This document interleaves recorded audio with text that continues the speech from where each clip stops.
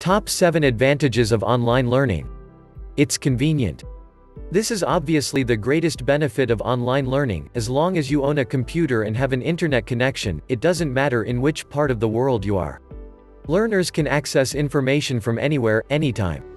It's flexible. Learning becomes easier when aligned with one's learning needs and preferences. Online learning allows learners to study at their own pace, whether they are students, busy adults, or employees. It's cost-effective. The cost-effectiveness of online learning is quite impressive, no more travel and accommodation expenses, reusable online content, it can be tailored to different needs. Different people learn in different ways, and online learning does everything in its power to ensure that all learning needs are met. It's immediate.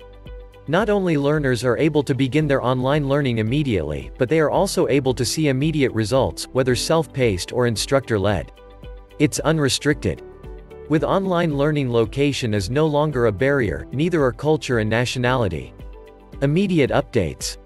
Today's online learning is better than yesterday's, and online learning of tomorrow will be better than today's. Students in online programs can effectively manage their time, learn the materials, and complete assignments on their own schedules to name just a few benefits of online learning. Top 5 Disadvantages of Online Learning. It may be a solo act, it is true that, although online learning might be convenient and flexible, it is also a solo act. Some people absolutely need personal contact with their educators or trainers in order to learn successfully. It may be impersonal.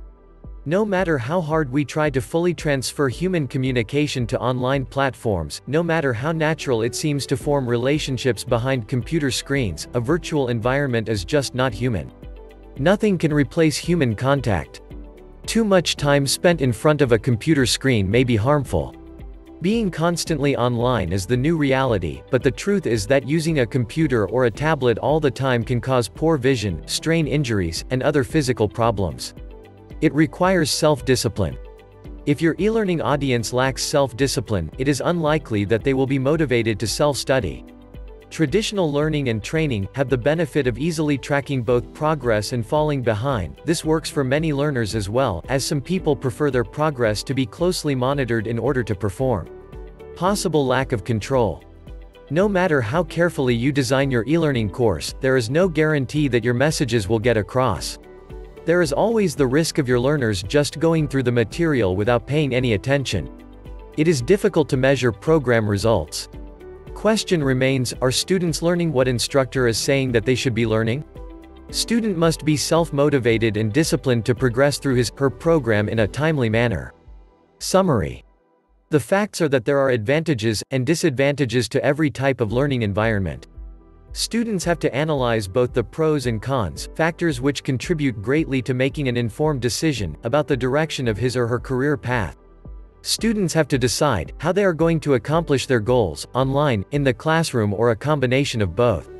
If you like my channel, please give this video a thumbs up, hit that subscribe button, and press the bell for notifications. Look out for the, the next video in the series, where I am going to tell you about online learning platforms.